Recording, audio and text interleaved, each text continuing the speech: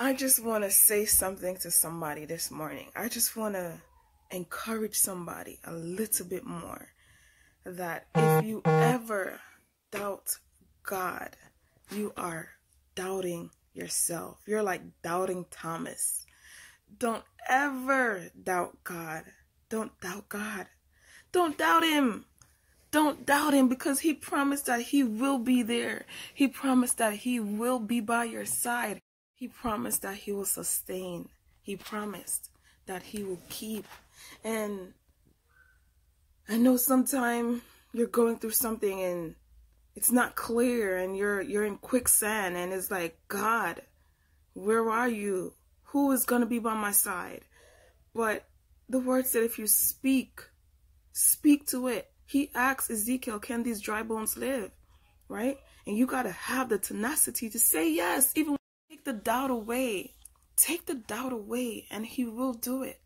He will bless you. He will keep his word. He is a promise keeper. He is a promise keeper. He has to. He has to keep his promise. He has to keep his promise. He has to. That's how your relationship and his will get stronger. Because if he keeps if he's if he keeps his promise keeps his promise, you will no longer doubt him, right? You will no longer live in disbelief, right? Or lack or let your faith be wavered, right? But he is a promise keeper. So I just want to encourage somebody that whatever you're going through, whatever you're trusting God for, just know that he will come through. If you're seeking him diligently, earnestly, just over the top, just giving it your all. Just like how you give your all to those things that fail you. Proverbs 3, 5, and 6 said, Trust in the Lord with all thine heart and lean not unto thine own understanding. Don't lean on what your mind is telling you. Don't lean on the things that you see is quaking around you or, you know, deteriorating around you. You know, and verse 6 In all thy ways acknowledge him, and he will direct thy path. Jesus. Acknowledge him. So I just want to encourage somebody this morning to trust the Lord Trust him despite of what? Trust him the very last second that you have. Trust him the very last hour. He will show up. But in that time when you're trusting God, glorify God. Do it like you know that he has already done it. Rejoice, praise, glorify, worship like he has already answered you. Whatever you're trusting him for, it's already accomplished. It is already a manifest in your life. It already come forward. The call, the answers that you need, right? The turnaround, right? The stranger to bless you. He already provided. He sent them on their way. Trust him. Don't be like doubting Thomas. Trust the Lord. Proverbs 3, 5, and 6. Trust him with all your heart. With all your heart. Trust him because he will come forward. He will come.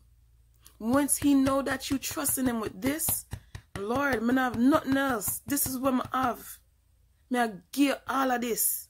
So I know you're not going to fail me, Lord. I'm giving you all my heart. Despite what I'm, despite me standing in quicksand, despite me standing in doubt, trust him. Despite me not seeing how this is going to turn around for me, how this is going to be work in my favor. But I'm trusting you that you're going to deliver, that you're going to deliver, liberate me.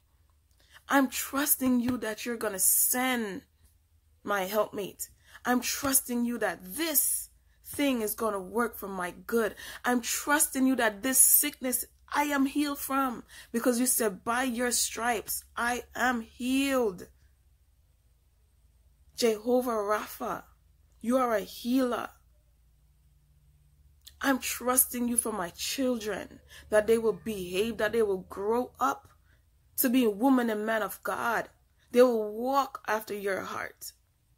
I'm trusting you to heal this heartbreak. I'm trusting you. Trust God this morning.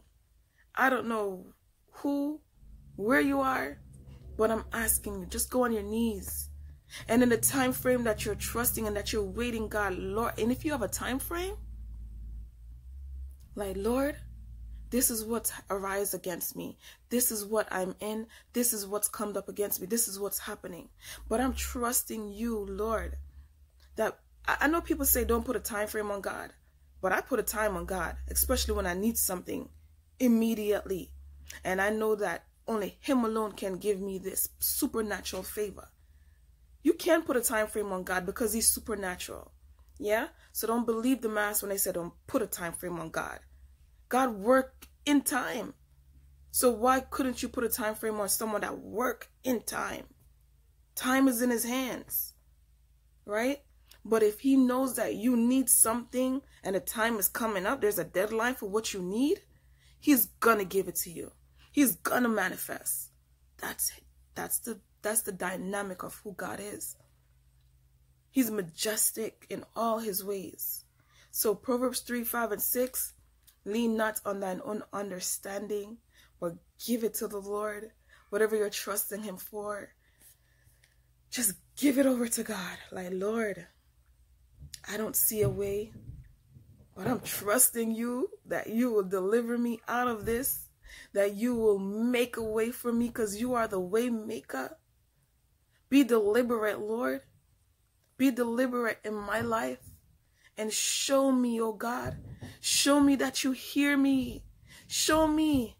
Let me see. Because this I need your help with. This I need recovery from. This I need a turnaround. This I need a breakthrough. And no one else can help me, Lord. So I'm giving it to you. I'm calling on the Most High God. Trust Him with your heart that's beating in your chest. Trust Him.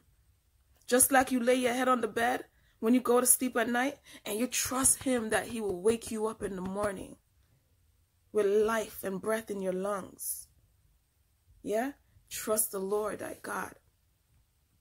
So, just trust Him. I pray you trust the Lord in this season for the remainder of the year. Whatever you're asking for, whatever your request is, I pray He comes speedingly I pray the Lord answers speed, speedingly. I pray he comes speedingly. Speedingly, he will come. Trust him. Call on the Most High God. And in your time of wait, seek him every day. Seek him the minute you get. Seek him, seek him, seek him, seek him. Seek him. Worship. Sing to him. He will give you songs. He give me songs. he gives me songs. He will give you songs.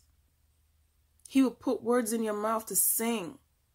He will put prayers in him, words to pray. Right? Seek him and trust him. Trust him the very last hour. Trust him like your life depend on it. Just like how you depend on your man, that break your heart. You depend on your parents that fail you. You depend on your friends that betray you, right? You depend on the drugs that wear off. It's not long term. That high must go. But the high of God is eternal. Yeah? He will spring forth a new thing in your life. Just trust Him. I don't know who this is for. But Proverbs 3 5 Trust in the Lord with all thine heart. With all your heart, trust Him and talk to Him. Talk to Him like He's your friend. He's right there, even though you can't see Him physically, but we can because He's in everything. He's in everything, no matter if you want to overlook it. He's in it.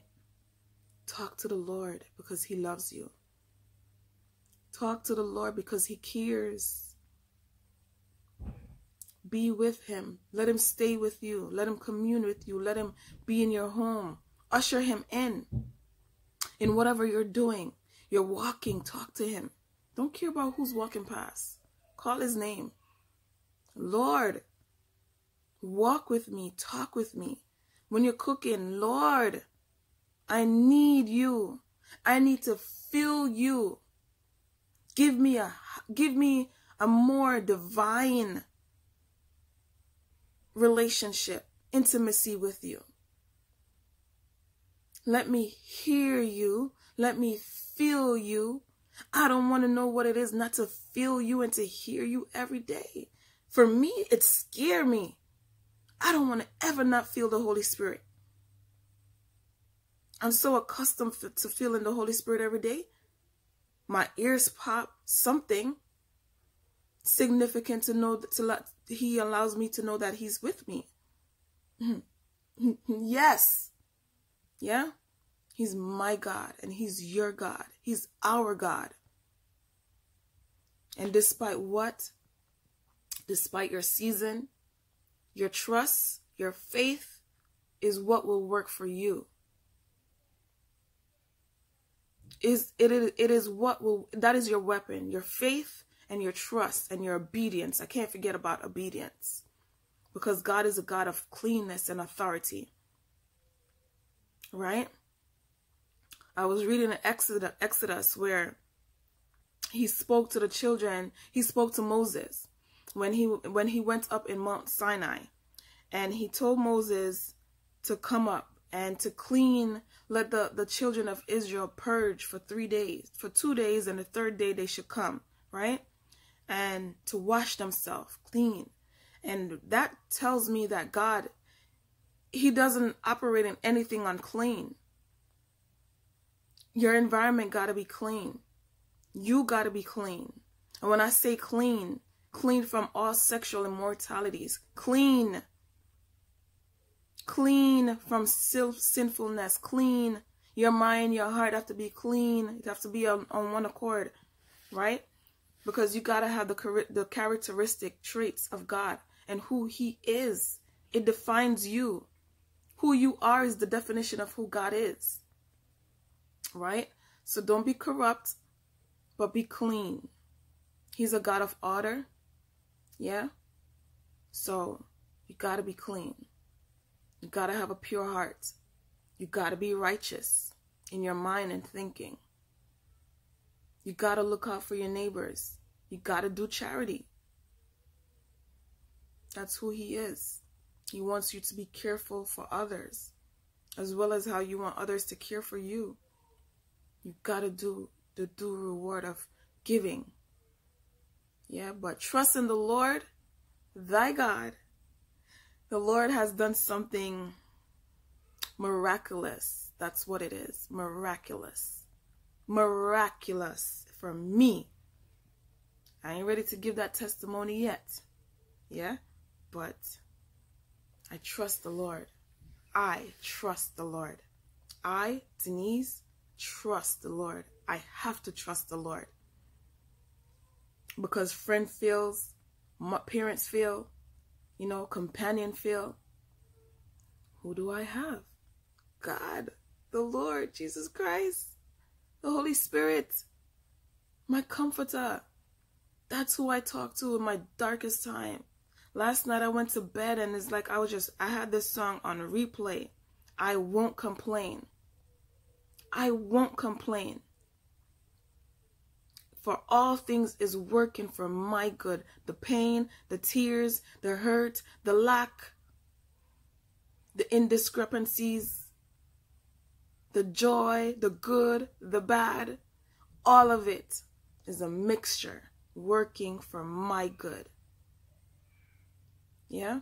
And the reward come from the Lord, my Lord, our Lord.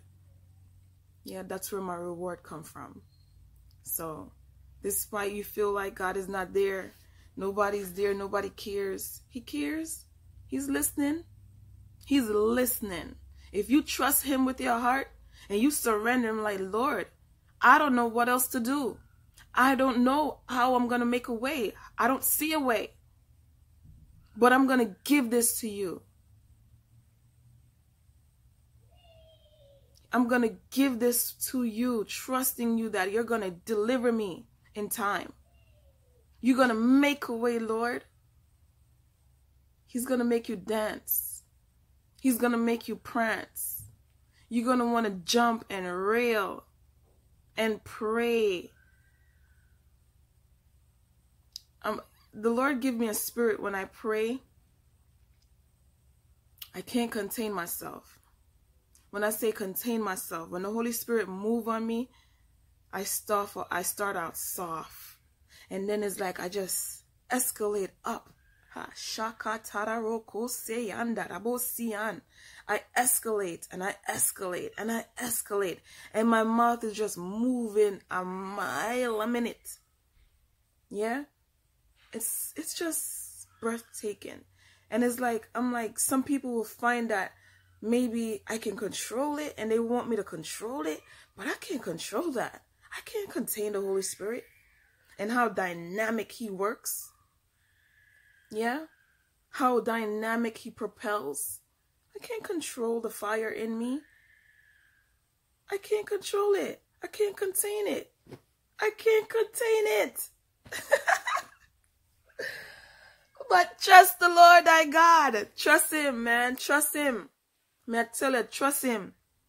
Whoever you are that's listening to this, trust him. I'll give a testimony maybe next month in June. but God is just phenomenal. He is phenomenal. I ask God for the month of May, use strangers to bless me. For the month of May, I am asking an, and I made a request and he has fulfilled the request before May is over. We're at May 26th, and every day there's something, and it comes with obedience. It comes with keeping your body holy because he said, Be he holy before I am holy. And it comes with aligning your conjunction, aligning your faith to his heart. Yeah. Obedience, obedience. Keeping your body holy, not defiling your body, not sleeping around. And I get to understand why God honors marriage. Yeah, He honors marriage because it's a covenant. And in that covenant, there's so much grace. And yes, you and your you and your husband and wife, they may buck heads you know, because there are different seasons and times and things come up and afflictions. And you just got to have that spirit of grace as God give you a pace like grace to say, you know what, despite what, I ain't to leave my wife. I ain't to leave my husband. You know what? I'm to be truthful and faithful to, the, to this man or to this woman that God has blessed me significantly with because God honors covenant, right? So keeping your body holy, I get it. I understand it. Right? When you don't keep your body holy and you're sleeping with somebody that's not your husband or not your wife, afflictions come. And it does in various ways. Yeah, I'm not even know why I'm saying that, but I I felt the need to just share that. So obedience, keeping your body your, your body holy for God so he can work in you so you can hear profoundly from the Most High God. Yeah? So you can see Him in your life. Once you give God your body, you give God you, the vessel, and you say, you know what, Lord, I'm not right. As you say, Lord, use me as you wish, use me. He will. But I also, God can't use a dirty thing. He can't use an unclean thing right? And a lot of people don't believe this, but he he wants you to be clean. He wants you to be clean. He told Moses to wash, let the, the children of Israel wash themselves and not go beyond, don't come up too far. Yeah, because you have to be clean to be in the presence of God.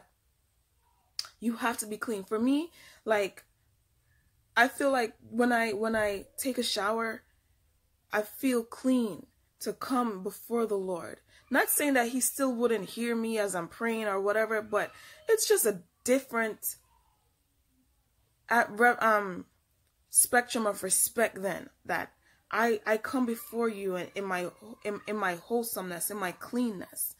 And he is a God of um he is an author of correction because if he if he dwell in filth, then I don't I don't think God don't dwell in filth. He doesn't dwell in filth. but he dwell in righteousness. He, he dwell in cleanness. He inhabits in cleanness. And that's why he acts to be clean, to be holy, to be righteous, to be obedient, to have faith of a mustard seed. To have faith of a mustard seed. I really I saw a mustard seed the other day and I said, "Wow. This thing is tiny." Yeah? But let your faith override your fear. Let your faith override your fear. Let your faith override what is telling you, no, it won't work. Yes, it will. Once you're talking to God, once you're worshiping God, once you're honoring Him with your life, He has to honor you. He has to. So let your body, let you who you are, be a sacred ground for God.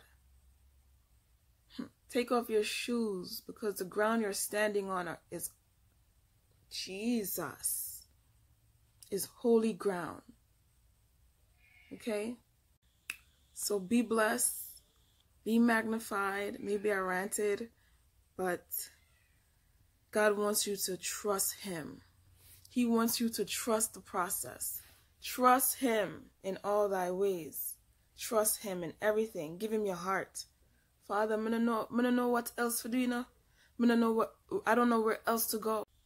Trust Him, be rooted, be blessed, and be magnified. Proverbs 3 5. Trust the Lord. Proverbs 3 5 and 6.